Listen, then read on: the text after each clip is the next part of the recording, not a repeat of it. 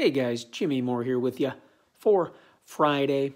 It's a big slate of college basketball conference tournament action on Friday. So the three game package will go in college basketball. Just remember, a lot of these games go early.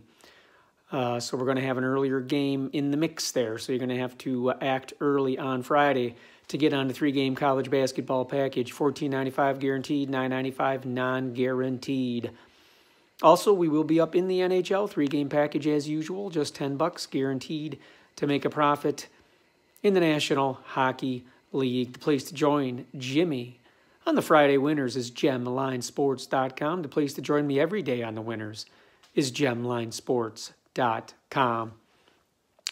Results for Thursday not available yet. Nothing final, no results for Thursday.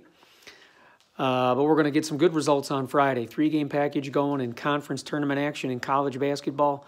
$14.95 guaranteed, $9.95 non guaranteed. Or head to the ice for a three game package in the National Hockey League. Just 10 bucks guaranteed to make a profit. GemLineSports.com is where you want to go. That's GemLineSports.com.